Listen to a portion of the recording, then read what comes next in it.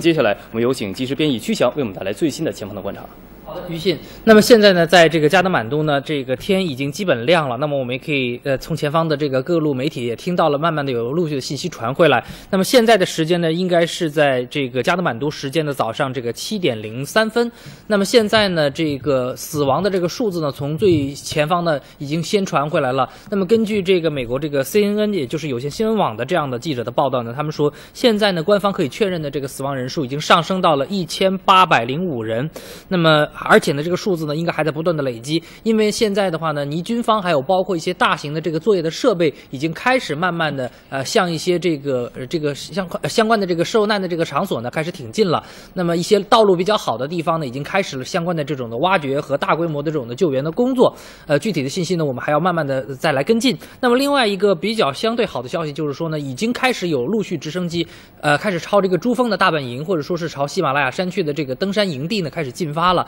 那么据前方所传来的消息呢，一支美国的这个登山队刚刚呢已经获救了，但是呢情况非常的惨重，他们的这个营地呢已经整个被扫平了。那么相关的这个伤亡呢也非常的大，很多的队员呢在这个山上呢几乎是趴了一宿没有睡，并且呢他们还要把这个死去的同呃同伴呢装在这个睡袋里头，然后呢把他给呃扛到一些相对稳定的地区，然后一直等到今天早上直升机来的时候，才慢慢的把他们全全部都转移走。